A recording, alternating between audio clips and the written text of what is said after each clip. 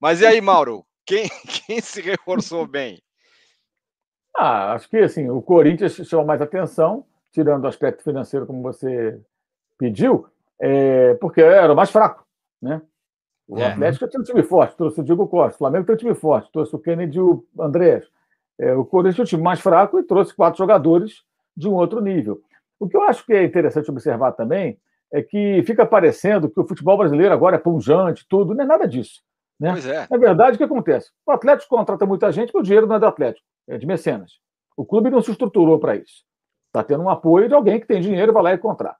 O Corinthians contrata sem dinheiro.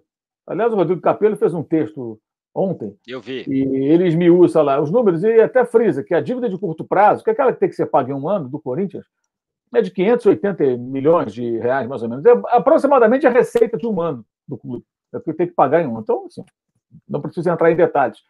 Até sem calculadora o cara consegue fazer essa conta. É... E esses jogadores, que são bons jogadores para a gente aqui, ótimos. O Davi Luiz, que pode vir, mas não veio ainda. O, o, o, William. É... Os caras que estavam na China. O próprio Diego Costa. São ótimos jogadores, mas que perderam o mercado na Europa poderiam até ficar por lá, mas certamente em times menores e tal. Então, acabaram vindo para cá com salários interessantes, né? Para jogar em times, em tese, mais competitivos do que, eventualmente, times que os contratariam. É parecido com o que houve com o Felipe Luiz, quando em 2019 voltou ao Brasil. Ele poderia jogar, de repente, num time menor na Espanha, na Alemanha, na Itália. Preferiu jogar no Flamengo, ganhando em reais, não em euro. Obviamente, acho que poderia ganhar mais lá, claro, né? Mesmo num time menor, é, mas com possibilidades de título e tudo mais. Aí é uma opção é, é, de vida e de carreira né, para cada um. Mas acho que criou-se assim, uma fantasia de que, nossa, o futebol brasileiro está bombando. Eu não vejo bem assim. Eu acho que é uma coisa meio circunstancial. Os clubes também, na Europa, precisando reduzir folha de pagamento, muitas vezes, abrindo mão de alguns jogadores que são caros, e outros não, tem outros que estão contratando direto. E com isso, esses jogadores acabaram se tornando mais viáveis. Você pega um caso como o do, o do William, o, o Arsenal aceitou rescindir o contrato na condição de que ele viesse para o Corinthians. Em suma, que ele viesse para o Brasil, que ele não uhum. ficasse lá na, na, Europa. Porque se um clube europeu quisesse o William, não, então vai pagar aqui a multa, bonitão. Não vou abrir de mão de graça do jogador que eu tenho sob contrato. Até se Sim. especulou que o Milan teria interesse. Se o Milan quisesse, o Arsenal falou: Milan, me paga aí um milhãozinho, aí um milhãozinho não, alguns milhõezinhos. Eu não vou te liberar assim, sem mais nem menos. Né? Então, acho que tem todo um contexto é, que passa por mecenato, por correr riscos é, é, enormes.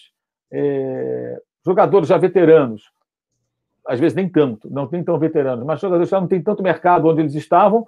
O futebol chinês, que estava bombando, hoje é o contrário, né, liberando jogadores, rescindindo o contrato, quer dizer, a bolha parece que, se não explodiu, ela está bem menor. Então, tudo isso favoreceu essa situação. E com relação aos países aqui da América do Sul, né, até alguns jogadores vindo para cá da Argentina e tudo mais, do Uruguai, é, é evidente que os times dos países vizinhos é, estão numa situação pior ainda do que os times aqui do Brasil, né? É, até os da Argentina, os grandes estão, já falamos sobre isso aqui em outras oportunidades. Então, acho que é importante colocar isso dentro desse contexto, porque fica passando uma imagem, às vezes, de que, nossa, os clubes daqui estão bombando, como se fossem todos eles muito bem administrados e tal. Não é bem isso. Acho que é toda uma situação que favorece e que passa também, no caso dos clubes brasileiros, por, desde o que se prepara para contratar, aquele que tem quem contrate por ele, pagando, e o outro que não tá só que contrata como se não houvesse amanhã. E vai contratando, vai contratando, depois vê como é que fica e seja o que Deus quiser. É, mas no final disso tudo, claro que o nível do campeonato deve melhorar, porque são atrações, são jogadores de um nível melhor do que aqueles que estavam aqui. Isso é evidente. Só que a gente não pode perder um pouco da noção da realidade, né? Dessa realidade, né? Porque a gente está muito aquém de, de chegar no futebol realmente organizado em termos de, de, de competição, CBF, tudo mais. Aliás, a CBF, que pataquada da CBF, né? Quer dizer, os argentinos domingo vão ter os jogadores da Premier League, a CBF pois não vai é. ter. Quem Todo tudo, quer, quem tudo quer, nada tem, assim diriam os antigos, né? Mas é. antigos do que eu. É, que, ah, não, eu quero os meus nove jogadores. Não, a Argentina falou, tudo bem, eu uso aqui dois jogos, depois meto no avião esses caras e jogo o último jogo dos três com um time mais desfalcado. A Colômbia aceitou isso também, né?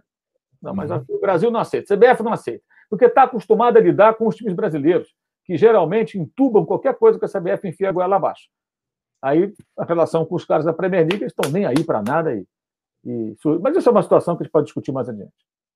Muito bem. O Arnaldo, é... é, agora, o desses caras todos que vão chegar, acho que o William e Diego Costa são os caras mais impactantes, né? O Flamengo também trouxe caras lá de fora, Premier League e tal. Mas Diego Costa e o William não dá aquela impressão que vai mudar o jeitão até do time? Mais o Corinthians, é claro, né, Arnaldo? É, acho que sim. E assim, o Diego Costa não entra nesse nesse fator que eu vou destacar, mas eu estava fazendo até um, um, um, colega aqui no Twitter, ele chegou a, a listar. Eu comecei a reparar que praticamente, é, se não a maioria, mais da metade das seleções das Copas de 2014 e 2018 estão jogando no Brasil hoje, depois dessa janela.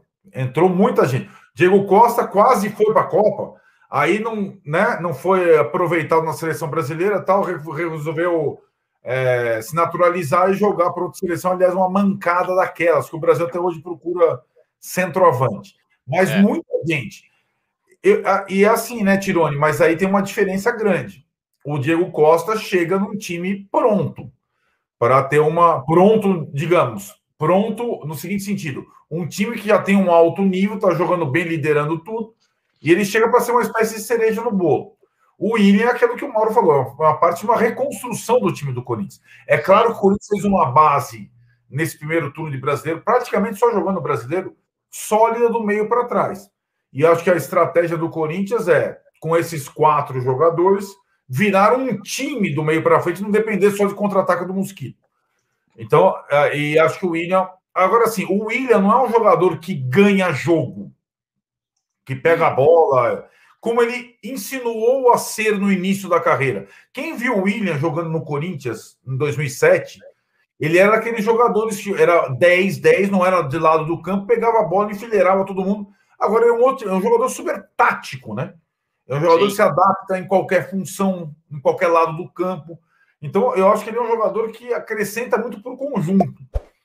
E, e, acho que o Corinthians, com essas contratações, pode, de fato, com o William, sobretudo, a cereja do bolo do Corinthians, é, pensar, de fato, em Libertadores, né? E, e, em se classificar um time que tem uma circunstância também, é um time que tem muitos titulares acima de 30 anos, é um time meio de tiro curto, que eu acho que visa jogar a próxima Libertadores e, e talvez brigar pela próxima Libertadores, quem sabe. É, o Mário Uzai já está falando aqui o apelido aqui do, do Kennedy do Flamengo, Kennedy, que é aquele é. saxofonista tal, a galera do Flamengo já está chamando o cara de Kennedy. Aliás, uma vez, um detalhe, teve um programa da Hebe, uma vez o Kennedy estava no, tava no Brasil e ele foi no